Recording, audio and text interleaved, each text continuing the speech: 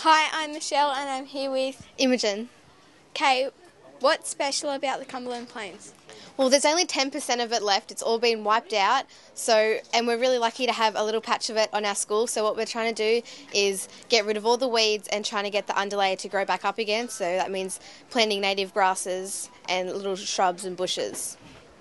Okay, thank you, Imogen.